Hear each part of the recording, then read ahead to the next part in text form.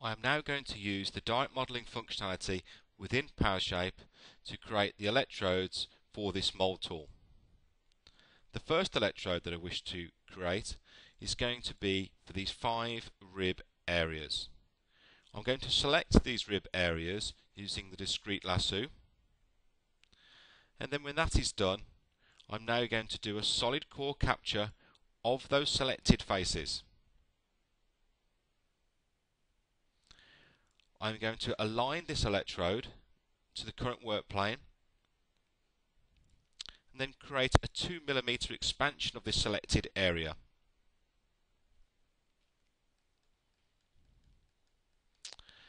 As I will be creating an electrode just to those five ribs, I'm now going to offset these inside faces and do this interactively just by pulling this handle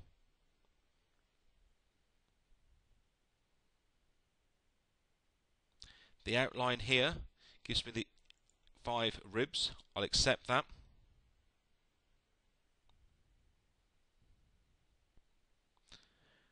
This gives me the five ribs that I require. When I have a look at this with the mold tool, I can see now these five ribs extend past the mold tool impression themselves. So I can now go into my electrode wizard and turn these five individual ribs into a complete electrode.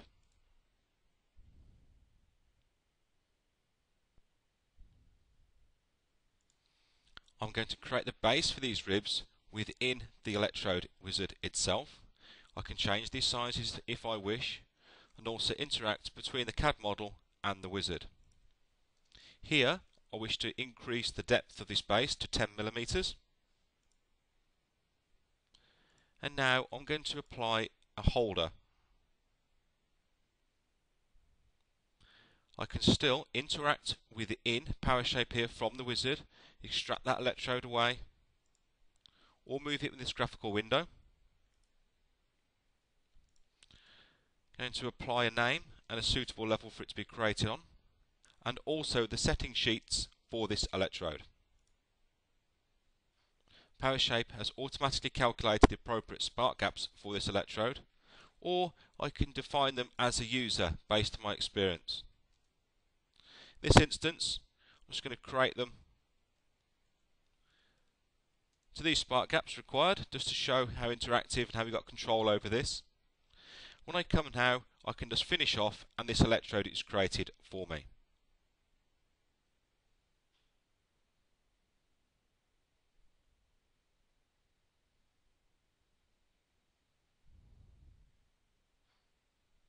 This has not just created the electrode, it's also created the setting sheets, showing the sizes here of the material block, necessary spark gaps, the material of the electrode, and the appropriate holder.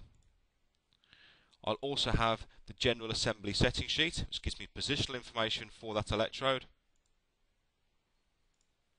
And when I go to turn to my CAD model, I can turn the burn area shading on of the faces of the solid then do a simulation here just to extract these away. Again, interactivity within PowerShape itself. This completes my first electrode.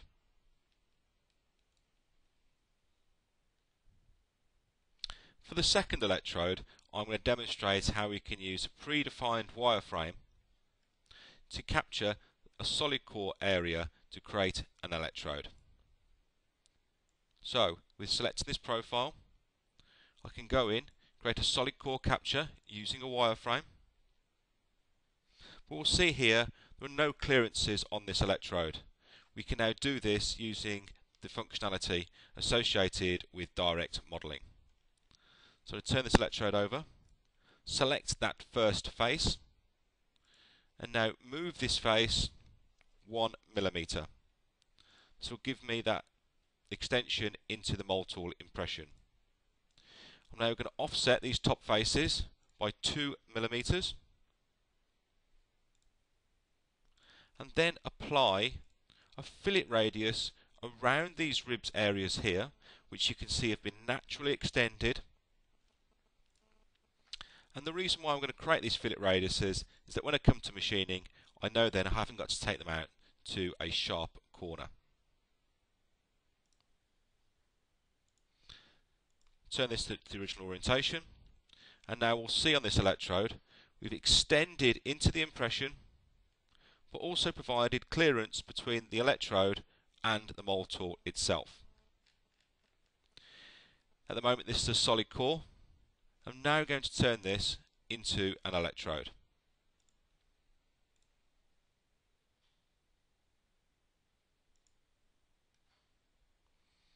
The electrode wizard has selected an appropriate blank size for me.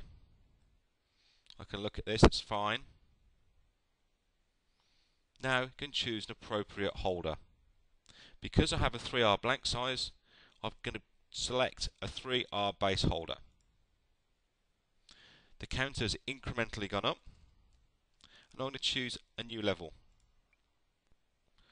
I'm going to use pre-saved sizes here for this electrode. So it remembered the surface areas used previously and selected those appropriate spark gaps. When I've finished now, what we'll have created is the electrode, the holder, and all this setting sheet information has been created for my second electrode. So when we come to the GA now, we'll see now that a second electrode has been applied to that general assembly sheet. But we can also turn on the burn area shading, go into our simulation, extract away, and we'll see all the faces here of this solid have been identified as the appropriate burn and clearance faces.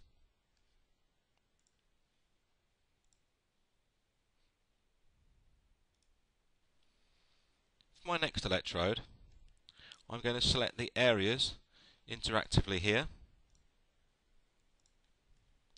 then go into my solid core do a solid core capture of just those selected faces. I want to round these to the nearest millimetre. Align it to the work plane and do an oversize of 2 millimeters. I'm also going to increase the depth here, again interactively, to 10 millimeters. Having done that, I can see I have no clearance across the top and also the electrode extends into the impression which I do not require.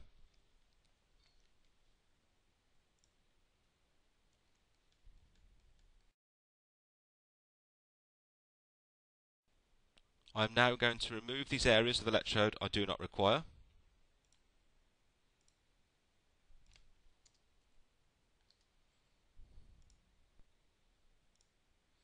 And we'll see the faces here have been extended and re-intersected for me. Now I'm going to offset these faces 2mm to give me the clearance I require to the tool and apply a radius around these of 1mm just to assist me when I come to machining.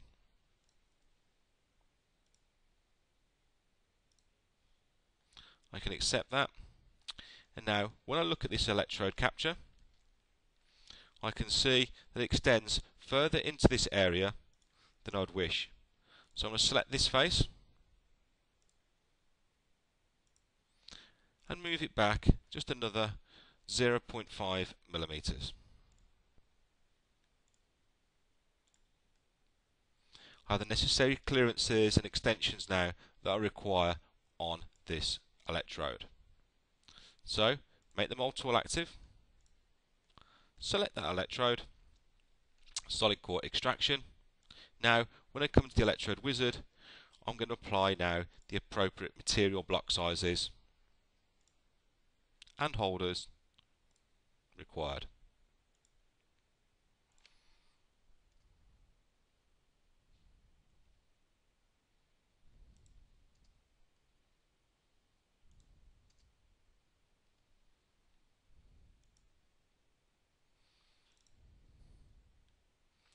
And export this now for PowerMill. So I can create the individual files outside of the trode file, but in this instance I want the trode file to contain all the necessary information. So the setting sheets, documentation, holders,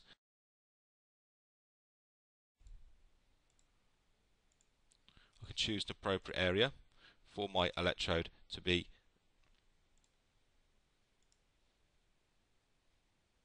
exported to.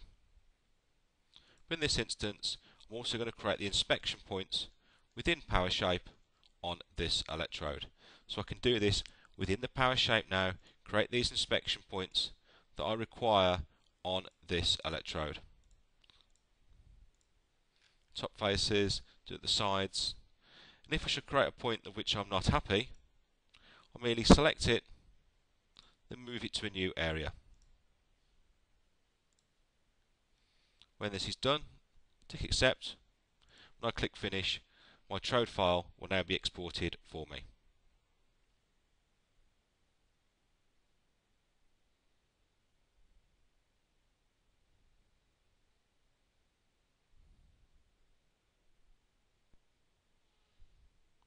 So now all the setting information, documentation, CAD model, inspection points has all been written to a single trode file. I'm now going to extract an electrode from a trode file into this current PowerMill project. I'm going to name the PowerMill project the same as the electrode. And we'll see now that what's happened that the wizard within the PowerMill has extracted from the trode file the material block size automatically. Just by one click generation that is now created in PowerMill. What I can do now is analyze interactively within this PowerMill model for minimum radiuses and the draft angle. I can now zoom in for finer control. I can see in these regions here it's around 1 millimeter. I can now use the measurement toolbar within PowerMill to measure this exactly and see it is exactly 1 millimeter. Having done that, I can then go and analyze it for the minimum draft angles.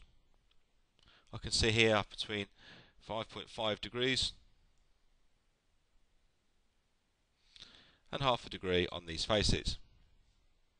I can then select the tool carousel of my Haas Mini Mill 2 which I was to use to machine this electrode.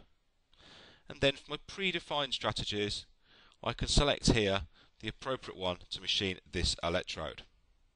At this stage, I could change those spark gaps that were created in my PowerShape.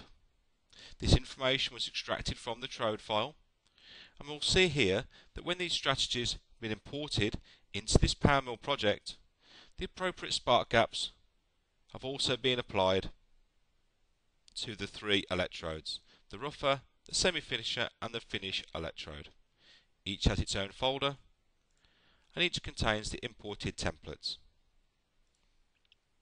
The tooling carousel has been imported. Any boundaries that are used here will also come in. We'll see in the levels and sets the clearance, the base and the burn region applied to an appropriate level. And we have a set which selects the whole electrode. When naming of boundaries, it's helpful to, for them to be informative to the user. So here we can see insert burn and clearance region. So what we'll see when I select this option here for create, a boundary will be created down here, a burn and clearance region boundary. This will now be inserted into these burn and clearance region boundaries. That's defined in my underscore batch.mac file. While this is creating, I'm going to create my second electrode. So I'm going to extract the electrode again, exactly the same way.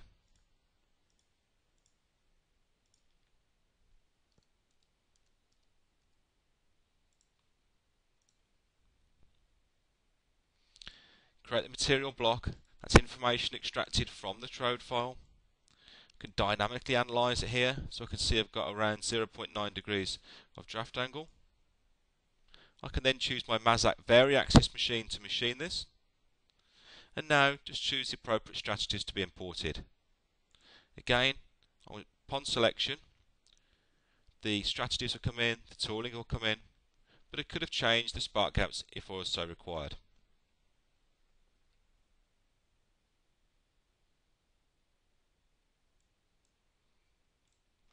So the folder structure is here, name of the electrode, description of the electrode with the spark gaps, the tooling carousel of this Mazak Variaxis, boundary information, and here we have the levels and sets.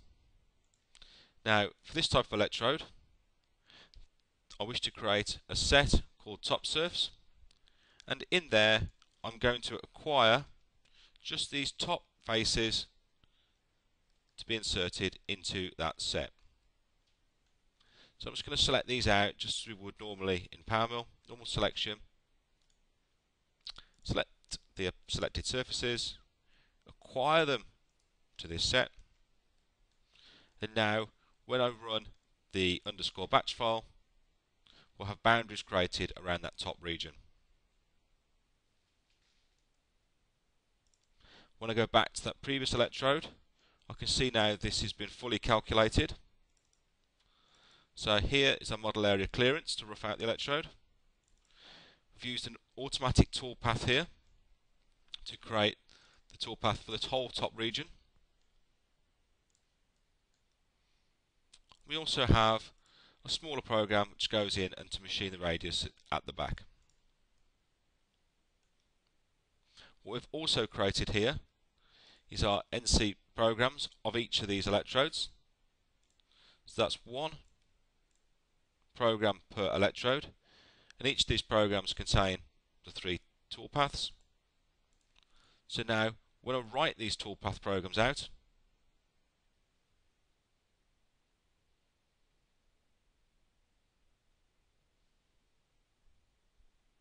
I can see now when I look into the NC program directory that's contained within that electrode that when I put this into my editor, we can see now the code has been created for us to run the machine tool.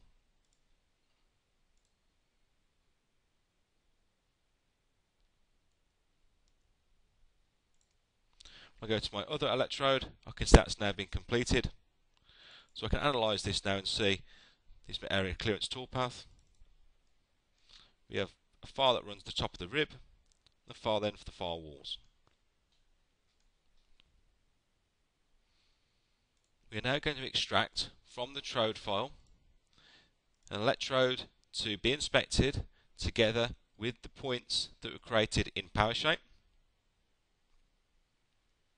When this CAD model is imported, the points will be come in. And what we'll see is the automatic generation of the probe paths for those points that we predefined.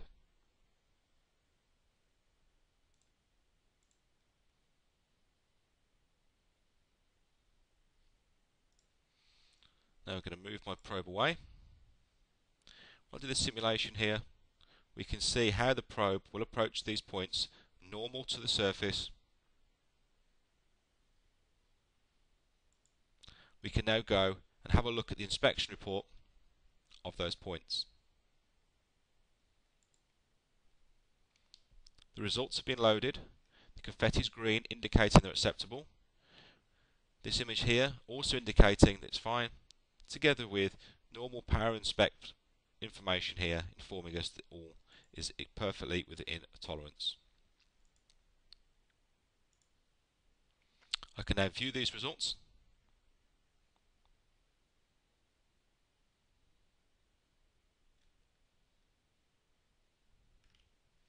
Deviation here is within the spark gap limit. We can see now picture representation. When I click next, we can go to our final screen and finish now. We'll put all this information into the Trode file.